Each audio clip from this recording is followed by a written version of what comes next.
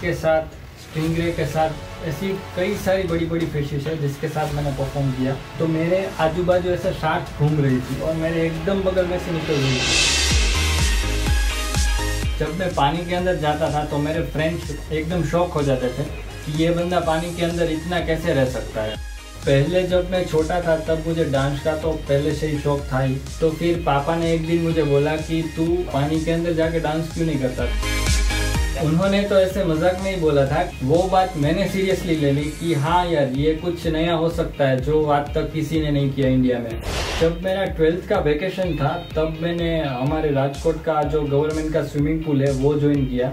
वहाँ पे मैंने पहली बार ट्राई किया। छः सात महीने के बाद मुझे ये लगा कि मैं अंडर वाटर डांस कर सकता हूँ। इसीलिए मैंने पापा को बोला कि मुझे आप एक टैंक बनवा दो।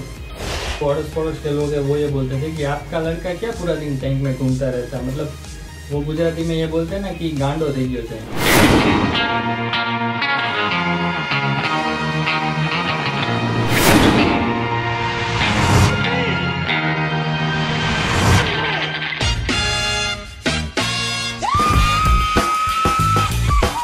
वरुण धवन ने मेरा वीडियो देख के ये कमेंट की कि ये इसका टैलेंट तो बहुत इनक्रेडिबल है।